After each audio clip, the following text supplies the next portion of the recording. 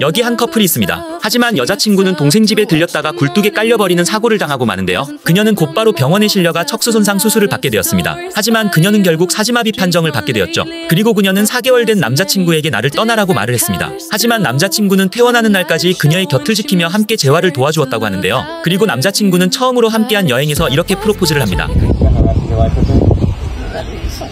두 사람은 현재 강아지 두 마리를 입양해 행복한 삶을 살고 있다고 합니다. 여자친구의 어둠 속에 함께 있어준 남자친구의 헌신이 진정한 형태의 사랑이 아닐까 생각합니다.